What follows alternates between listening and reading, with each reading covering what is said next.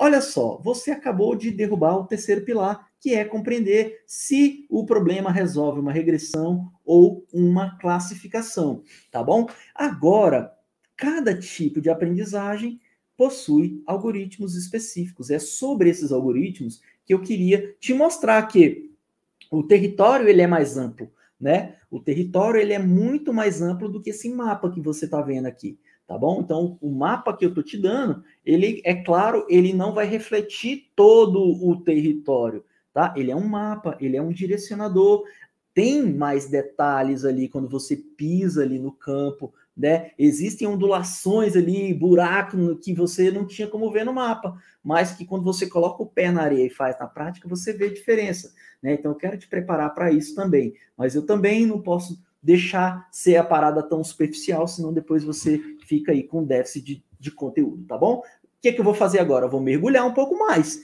Então, é como se eu tivesse dado um zoom agora no mapa. Então, aumentei a quantidade de detalhes. Você está vendo mais detalhes e é o que a gente vai ver mais detalhes agora do machine learning, da aprendizagem, que é conhecer os algoritmos mesmo e conhecer onde você pode aplicar e e o que que eles estão resolvendo, tá bom? Aqui, fique tranquilo, é um mapa, eu deixo o link aqui, isso aqui é uma figura de um mapa mental que eu achei muito interessante, vou até clicar nele aqui, porque eu consigo, eu consigo dar um, dar um zoom nele aqui, deixa eu ver se eu consigo dar, aí, eu consigo dar um zoom bacana aqui, e aí eu consigo te mostrar. Primeiro, né, deixa eu diminuir o que que ele, que que ele tem aqui, né? Isso aqui é um mapa mental e ele está dizendo para mim bem assim, olha, aqui eu vou falar de machine learning, e machine learning eu consigo descobrir vários algoritmos para aplicações específicas, para tarefas específicas e abordagens específicas, para você ver como muitas vezes a forma como você aprende interfere. Aqui a gente vai falar agora sobre aplicações, tá bom? Então, ó, quando eu falar de aplicações, eu sei que, ó, eu tenho é, algoritmos que vão me ajudar a resolver, é, a fazer compressão de imagem, a fazer engenharia de atributos, que é você escolher atributos, é, que está aqui dentro de uma, de uma área conhecida como redução de dimensionalidade. Eu, dentro do, de PLN, processamento de linguagem natural, eu tenho aqui algumas coisas que vão resolver, é, vão fazer modelagem de tópico, classificação de texto, análise de sentimentos. Então, o que, que eu estou dizendo? Para que tipo de aplicação eu tenho as áreas específicas aqui dentro? Então, ó, a aplicação de machine learning para visão computacional. Ah, eu posso fazer, eu posso ter é, problemas de classificação de imagem, de segmentação de imagem, de detecção de objetos. Ah, Eduardo, então aqui, quando eu for para esse galho, eu estou olhando para aquilo que a, o machine learning está resolvendo, não é? Exatamente. Quando você for para esse outro lado, é um mapa sobre o tipo de tarefa, que é o que a gente acabou de ver. Ó, aprendizagem supervisionada, aí tem aqui, ó, é, é, segmentação de imagem, é, classificação e regressão, você já viu aqui. Isso é o tipo aqui de aprendizagem supervisionada. Agora, não supervisionada, lembra que eu falei da clusterização? Ó, tá aqui. A, a é detecção de anomalia e redução de dimensionalidade também é atividade aqui também é tarefa de aprendizagem não supervisionada. Lembra que eu falei também que tinha ali semi-supervisionado e outras também? Tá aqui uma que é semi-supervisionada. Aqui, o que, que a gente tem aqui? Ó? A gente já tem aqui a questão de abordagens. Então, estou falando de machine learning, só que eu tenho abordagens que é modelo simples e multimodelos. O que, que é modelo simples? É quando eu tenho um modelo, um algoritmo, tá bom? Um algoritmo está fazendo o trabalho. É, e quando eu tenho multimodelo, é que eu tenho vários algoritmos junto. E aí ele subdivide aqui aquilo que a gente chama da família dos ensemble aqui, ó.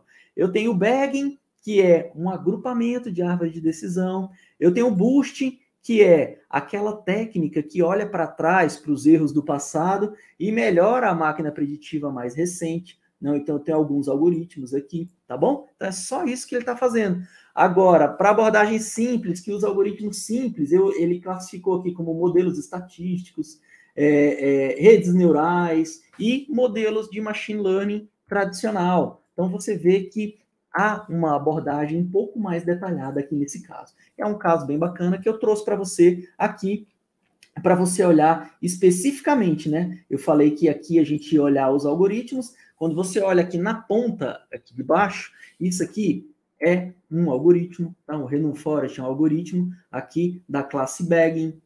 O Light GBM e o XGBoost né, um, um, são algoritmos da classe Boosting dentro do, do, da classe Ensemble. Aqui dentro eu tenho o PCA, é um algoritmo, eu tenho o ARIMA, o ARMA, o GART, são para séries temporais. Aí aqui eu tenho redes neurais, então eu tenho as CNNs, Convolution Neural Network, que é muito utilizado para visão computacional.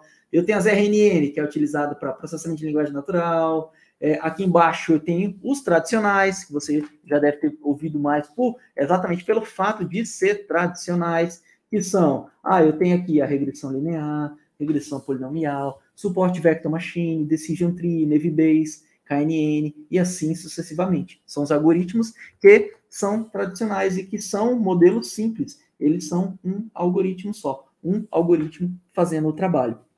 Tá bom? Então, essa é uma visão de conhecer ali o algoritmo, para que, que ele é utilizado, né? Em qual tarefa que ele é utilizado. E aqui embaixo eu trouxe mais um, um outro mapinha aqui, que eu acho também muito interessante, que é um mapinha que vai fazer você ter exatamente é, uma outra visão, que é uma visão complementar que a gente aprendeu agora. Então, vamos lá, eu tenho aqui a, o Machine Learning em si, que é o centro, e aí eu tenho Lembra que eu falei dos ensemble? Aqui, os ensemble aqui. A gente viu os baggings, tá lá, o Randall Forest. Os boosting, aí a gente viu o Act Boost, o Light EBM, agora ele mostra mais dois aqui, ó, o Cat Boost e o Ada Boost. Então, tudo que está na folhinha, no extremo aqui, são os algoritmos, beleza?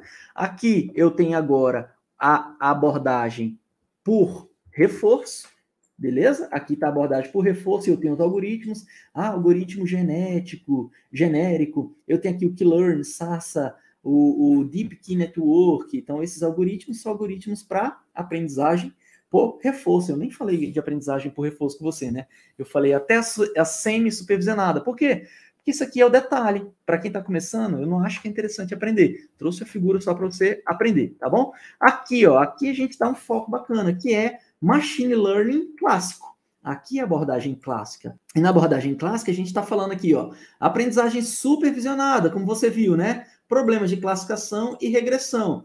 O problema de classificação, quais algoritmos, Eduardo? Tá aqui, ó, KNN, Navy Base, SVM, Decision Tree, regressão logística. Ah, e você tem uma regressão, Eduardo. Ah, tá aqui, ó, eu tenho a read, a laço, a regressão polinomial, a regressão linear. Ah, tá bom, Eduardo. E eu lembro que você falou lá da aprendizagem não supervisionada, né? Quais algoritmos eu tenho lá? Tá aqui, ó. Eu tenho para reconhecimento de padrões, eu tenho aqui o a priori, eu tenho para clusterização, o K-means, é até o exemplo que está lá, que você vai assistir. Tem o DB Scan, tem o Min Shift, Fuse sem min. Esse Fuse sem means aqui eu nunca nem usei, tá bom? Mas esses aqui sim, ó. Min Shift, K-means, DB Scan, tá bom? São algoritmos para fazer cluster de clusterização. Então, esse é o overview de machine learning que eu queria trazer para você.